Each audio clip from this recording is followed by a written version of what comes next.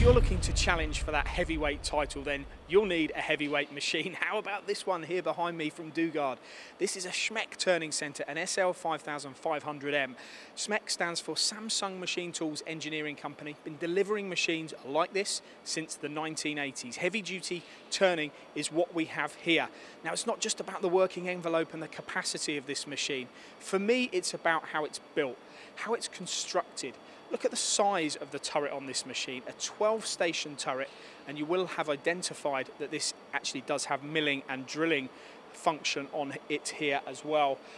Now it's about the size of the body of the turret as well, what supports the turret, the box guide way construction, the base of the machine. It's a 45 degree casting on the base of this machine.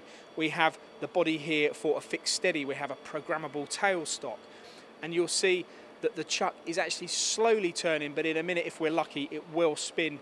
Uh, and the chuck size on this machine is 21 inch, 24 inch, or 32 inch.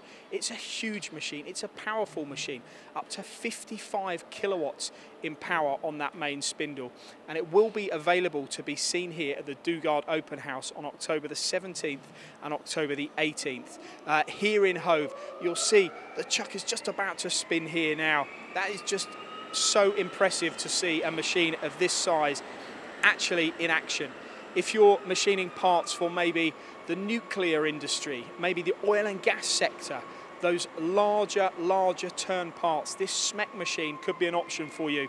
Dugard's Open House, 17th and 18th of October here in Hove. You can sign up on their, on their website, uh, dugard.com.